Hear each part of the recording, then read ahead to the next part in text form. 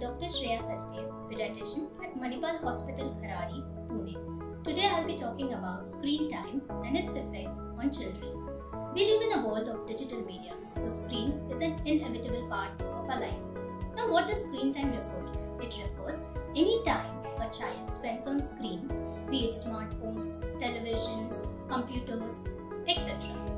Now, the World Health Organization recommends zero screen time below the age of 2 a maximum permissible screen time of 1 hour between the age group of 2 to 5 years, and not more than 2 hours for the ages above 5 years, be it educational or entertainment purposes.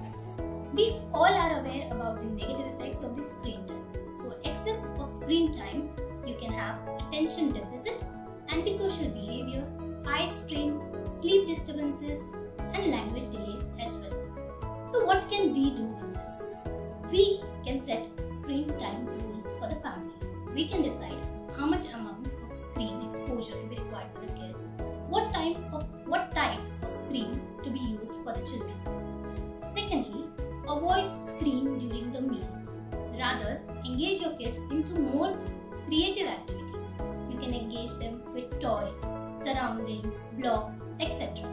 Avoid any screen time use before bedtime because during screen time there are a lot of visual inputs to the child which are not required and makes their brain hyperactive which can cause sleep disturbances. Especially I would like to talk about toddlers and preschoolers. Why to avoid screen time in those children? So the thing is, when I am having a conversation or you as a caregiver are having a conversation with your toddler, the toddler is going to observe your facial expressions, your pronunciations, so that one-to-one interaction is very important with the toddler, which definitely your screen fails to provide. Co-viewing with the older children.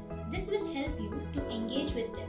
What you can do is ask them to label the objects being seen on the screen Ask them to maybe imitate some songs, repeat some songs, or imitate any dance movements. You can give them a short story to observe and maybe ask what they have learned out of the story. This will not only help to keep a check but will also engage you with the children as well. Right sort of on screen activities can be a positive experience for your child, giving their learning a boost and can help them develop new skills. So, as we discussed, we have both positive and negative effects of screen time.